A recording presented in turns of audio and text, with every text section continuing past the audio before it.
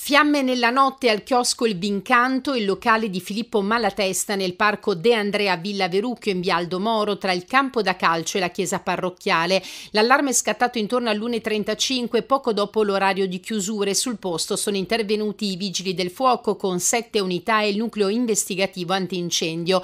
Pesanti danni alla struttura in buona parte distrutta, complesse e lunghe le operazioni di spegnimento e messa in sicurezza dell'area. La zona è stata transennata in tarda mattinata si è provveduto a demolire la copertura in legno carbonizzata e pericolante. Ancora da appurare le cause del rogo, sul posto sono intervenuti i carabinieri della locale stazione e la polizia locale. Si lavora su diverse ipotesi a partire da quella dell'atto doloso. Filippo Baschetti, in arte Malatesta, è conosciuto per la sua carriera di cantautore, ma è anche imprenditore e organizzatore di eventi. A Verucchio è stato anche assessore ed è candidato alle prossime amministrative cittadine cittadino e come consigliere della lista Verucchio Mia a sostegno del fratello Roberto Baschetti.